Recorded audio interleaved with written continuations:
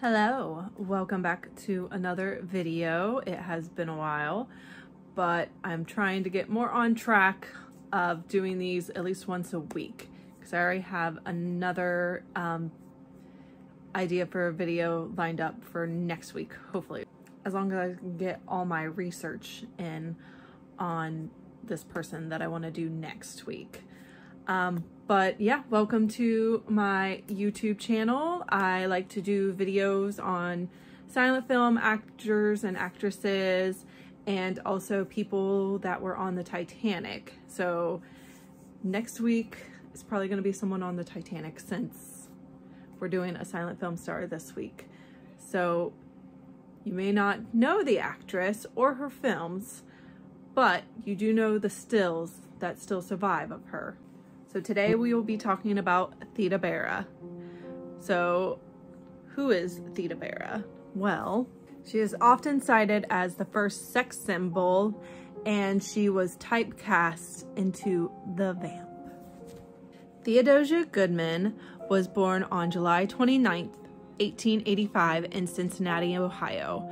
So I was interested in doing a video on her, not only because she led an extraordinary life, but because I love finding other actors and actresses that are actually born or raised in my home state. Her father was named Bernard Goodman and he was a prosperous Jewish tailor from Poland.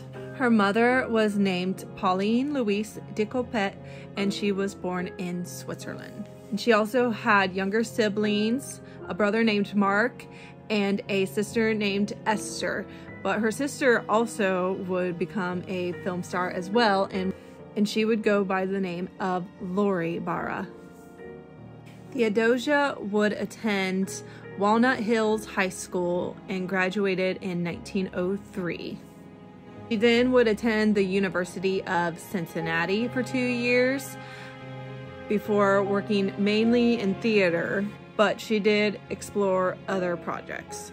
In 1908, Theodosia moved to New York City where she made her Broadway debut in The Devil, and she lived there with her family at that time.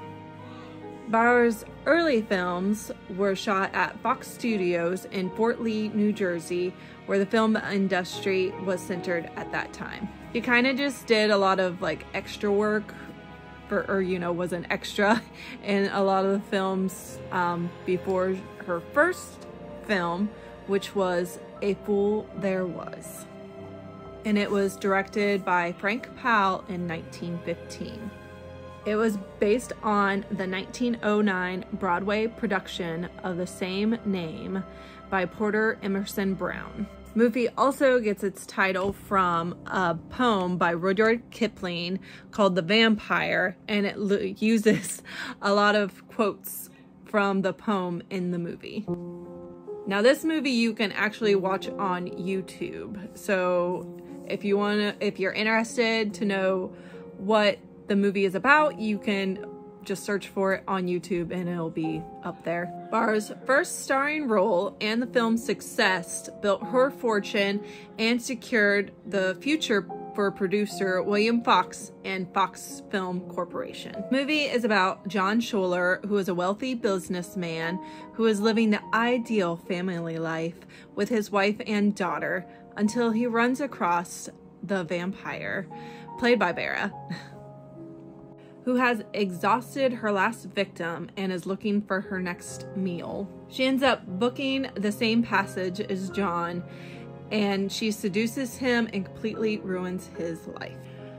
The movie is supposedly responsible for taking the word vampire and shortening it to vamp and popularizing that word for a sexually manipulative woman. This is also when she would be Hollywood's first man-made star. They claimed that she had spent her early years in the Sahara Desert under the shadow of the Sphinx and would move to France to become a stage actress, even though Theda had never been to Paris or Egypt. And they also said that she was the Parisian daughter of Arabian and French artists. And the name Theda Bara is an anagram for Arab. Was made popular at that time to promote an actress as mysterious and elusive with an exotic background. At the time of her fame, she was making $40,000 per week for her film's performances. She was one of the most famous movie stars at the time, ranking only behind Charlie Chaplin and Mary Pickford in popularity. Brands even cashed in on Theda's fame. There was compact mirrors, you know, makeup tutorials, kind of what some YouTubers do today and stuff. But then there was also a sandwich recipe for Theda Bara. And on top of that, there was even a song that was where a good girl goes bad eh, after watching one of Theda's movies. And it's called Since Sarah Saw Theda Bara by Harry Jintz, I think, and Alex Garber. I'm sorry if I butchered those names. But um, you can also find the, I actually found the song on YouTube. But yeah, check out the song. In a number of her films, she would wear risque costumes that would leave little to the imagination. Later, such outfits would be banned from Hollywood films after the production code started in 1930 and was more strongly enforced in 1934. The rise of Hollywood as the center of the American film industry would force Theda and her family to move to Los Angeles to film Cleopatra, which became one of her biggest hits. The film reportedly cost $500,000 to make, making it the most expensive production at that time. Big chunks of that money would go to Theda's costumes, which would be more revealing than the last. And there was reportedly 50 costume changes for Theda's character, which which was a record at that time and was only beaten by Elizabeth Taylor's Cleopatra in 1963 with 65 costumes press release reported that one single tent interior cost $50,000 in furnishings. One example of the excess Theda Bara actually reported was that a famous psychic perfumist uh, created a scent to created a scent for her to wear on set made from a 2,000 year old formula. The fragrance was supposedly so strong it would not be strange if you could detect it on the screen. The film would also star Fritz Lieberman as Caesar and Thurston Hall as Mark Antony.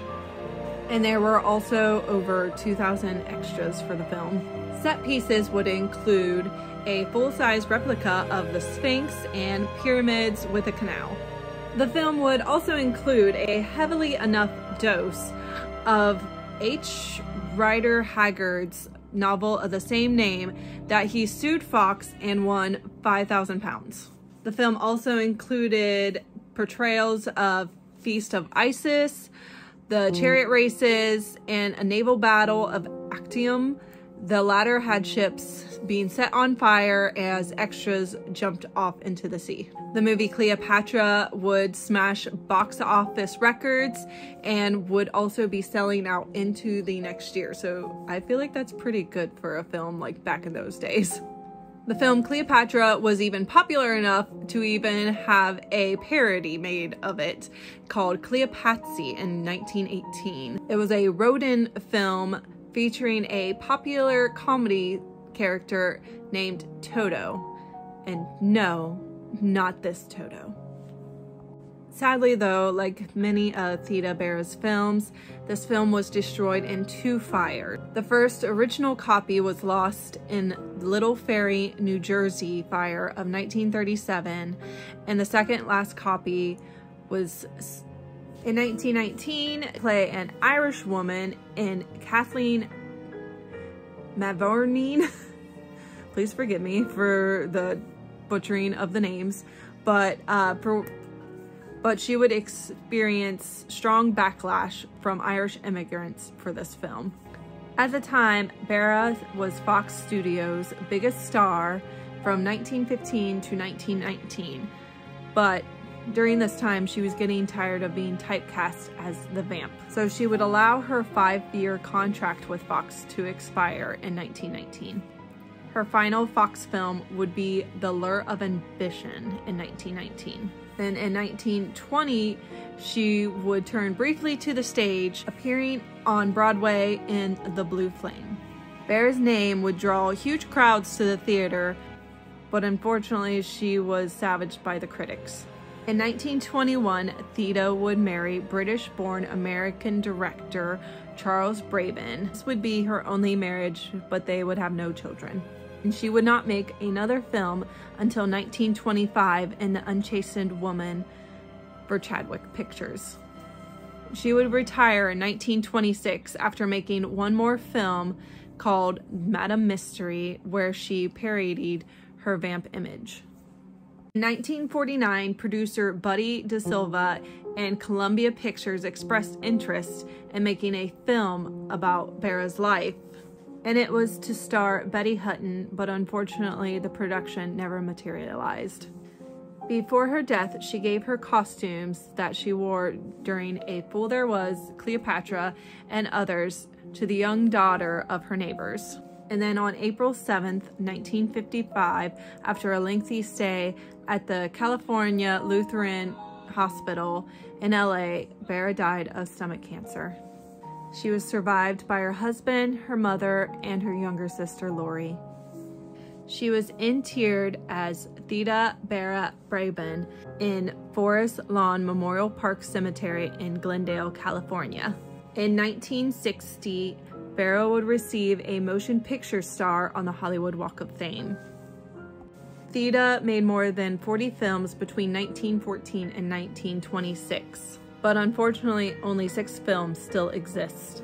Those films are The Stain in 1914, A Fool There Was in 1915, East Lynne in 1916, The Unchastened Woman in 1925, and two short comedies for Hal Roach.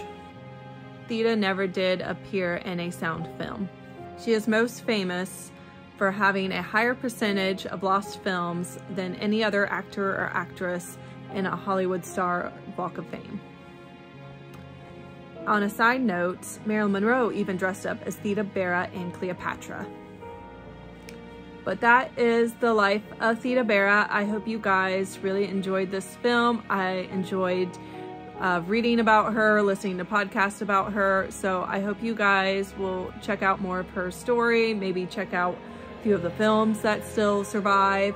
But yeah, let me know down below what you thought about this video and I will see you guys next week for our Titanic person. Hope to see you guys then. Bye.